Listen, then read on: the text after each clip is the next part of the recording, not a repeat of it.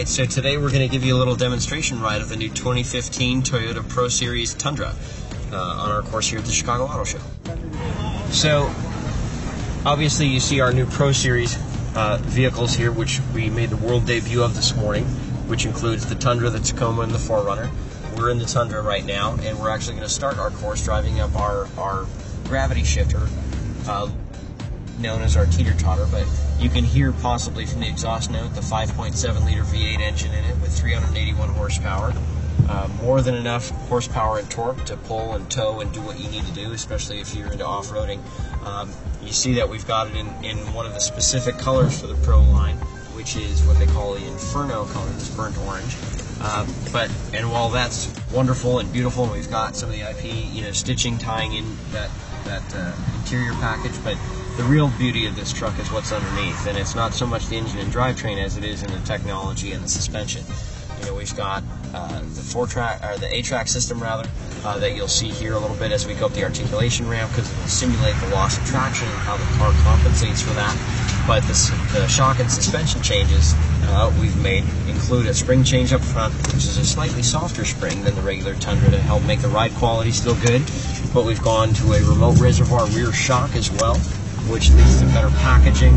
It also enables us to raise the ride height by about two inches and increase the wheel travel. So as you notice as we went over that, you know, if that were a true off-road situation, you wouldn't be bottoming out, you wouldn't be hitting any of the undercarriage or even the new, the, the great new quarter-inch aluminum skid plate.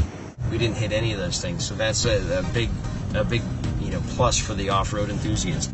Now, same, same thing here. We're going through a water pit and we're in two feet of water right now with no issues. We're not bottoming out. We're not taking on water, so to speak.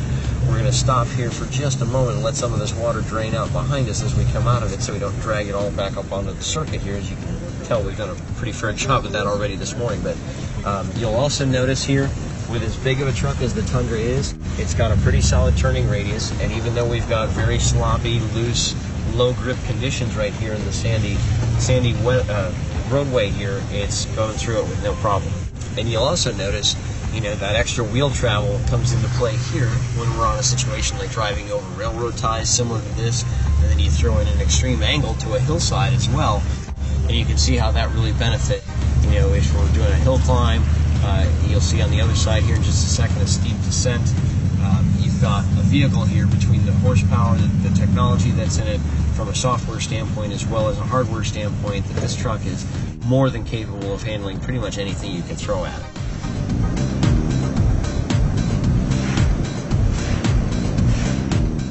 Coming down off the hill here at a pretty steep angle, no problem. Very sure-footed, very confidence-inspiring truck. And one of the other great benefits, and I've noticed this throughout the Toyota line, is that even though you know it's a truck, it steers like a car. So you've got a good, solid heavy duty truck feel that you can really push to its limits and one that kind of drives a little bit more like a car.